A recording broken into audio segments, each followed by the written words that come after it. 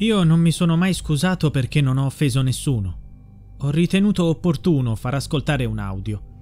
Poi che io abbia detto quella frase, cioè che Voitila usciva di nascosto, è una frase che dicevano tutti, non era considerata una cosa grave.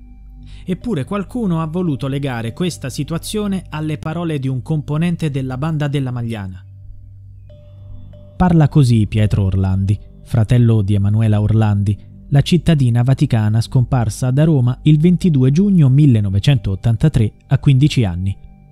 Sono quasi passati 40 anni esatti dalla sua misteriosa scomparsa, ma l'attenzione sul caso non è mai diminuita Persistono voci che collegano la sua scomparsa alla pista della pedofilia nella Chiesa.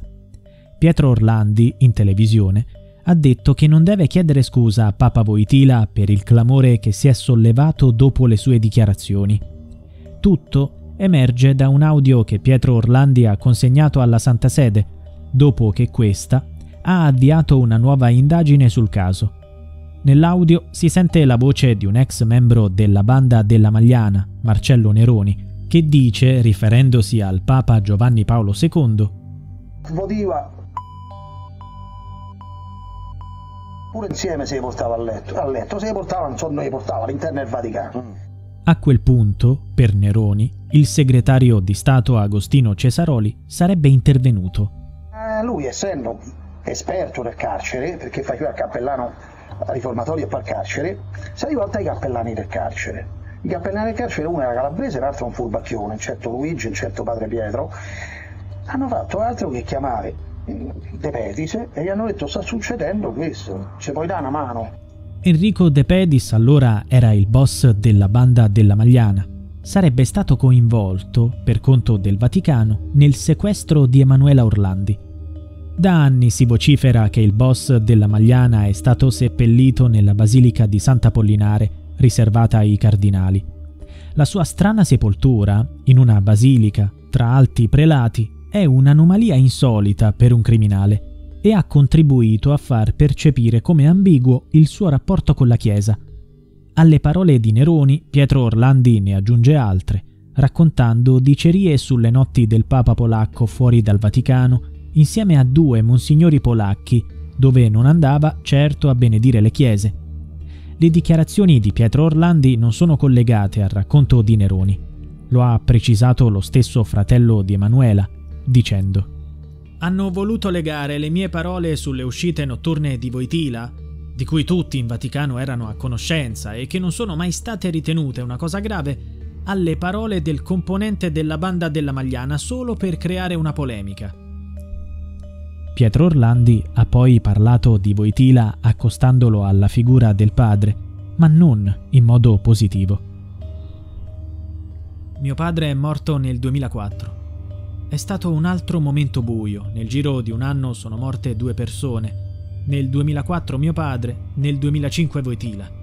Sono le due persone che mi tenevano legato a questa vicenda. Voitila in negativo, perché sono sempre stato convinto che lui sapesse che cosa era successo a Emanuela.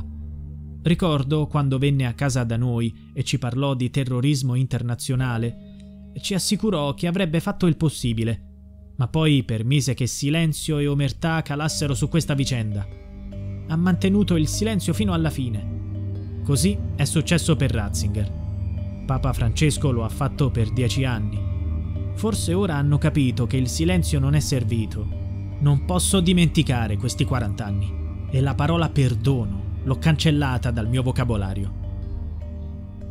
Ma cosa c'entra Papa Voitila con la scomparsa di Emanuela Orlandi? Fu lui a portare l'attenzione del mondo sulla scomparsa della giovane cittadina vaticana. Il 3 luglio 1983, da piazza San Pietro, lanciò un appello ai rapitori durante l'Angelus implorando che venisse liberata. Fino a quel momento gli investigatori non avevano mai parlato di rapimento. All'inizio si pensava ad un allontanamento volontario. La famiglia Orlandi con quelle parole fu messa di fronte a uno scenario nuovo. Dopo il primo discorso, altre otto volte Giovanni Paolo II fece pubblicamente riferimento alla questione un nuovo riferimento al caso venne fatto durante l'Angelus della domenica successiva, il 10 luglio del 1983. Il Papa disse Stiamo facendo tutto il possibile. Poi, il 17 luglio del 1983, Voitila fece un vero e proprio appello dopo la consegna all'agenzia di stampa ANSA di un messaggio registrato dai presunti rapitori.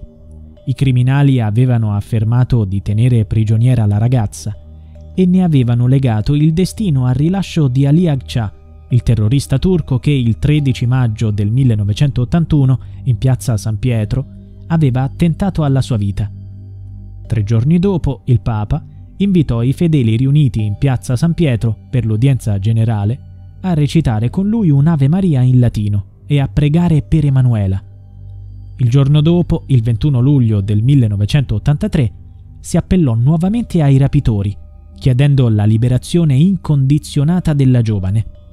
Proprio in coincidenza con il giorno in cui scadeva l'ultimatum per liberare Agcha. Poi, il 24 luglio dello stesso anno, il 27 e il 28, Giovanni Paolo II invitò i fedeli a pregare per Emanuela e alla vigilia di Natale andò a casa Orlandi, in Vaticano, per visitare la famiglia, come ha raccontato Pietro. Il 25 aprile 1984 fece un ultimo appello pubblico, chiedendo notizie di Emanuela. Il mio pensiero va a persone vicine e lontane. Va innanzitutto alla famiglia Orlandi, che ho ricordato particolarmente nella preghiera insieme con la loro cara Emanuela, della quale non si è più saputo nulla. I genitori di Emanuela non perdono la speranza di poter riabbracciare la loro figlia. Attendono con ansia di avere almeno qualche sicura notizia che allevi la loro terribile angoscia. Ma tutti gli appelli non vennero ascoltati. L'unico ad ottenere qualcosa fu il terrorista Agcha. Nel 2000 il presidente della Repubblica, Carlo Azeglio Ciampi, lo graziò.